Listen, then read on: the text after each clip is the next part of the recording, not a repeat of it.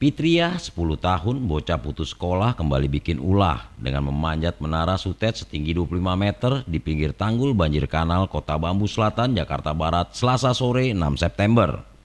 Perbuatan nekat gadis cilik ini merupakan yang kelima kalinya. Selain pernah beberapa kali naik tower di daerah Kota Bambu Selatan dan Jatipulo, Jakarta Barat, gadis cilik berkulit hitam ini pernah dua kali memanjat tower setinggi 20 hingga 30 meter di daerah Ciputat, Tangerang. Bungsu dari tiga bersaudara, pasangan Suratno 45 tahun dan Sumarni 33 tahun ini saat ditanya kenapa senang memanjat tower, dengan enteng menjawab bahwa dia akan merasa puas dan tenang kalau sudah memanjat tower puluhan meter. Ibu Pitria yang semula tenang-tenang saja dengan ulah putrinya itu kontan menjadi tegang dan panik ketika petugas PLN menjelaskan kalau sampai Pitria menyentuh kabel bertegangan tinggi bisa menimbulkan ledakan dan tubuhnya pasti hangus.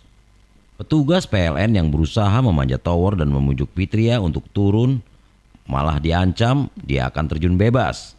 Setelah tiga jam berada di Menara Sutet, akhirnya gadis cilik yang agak tomboy ini mau turun. Setelah ibunya membujuk untuk membawa jalan-jalan ke Monas dan Ancol.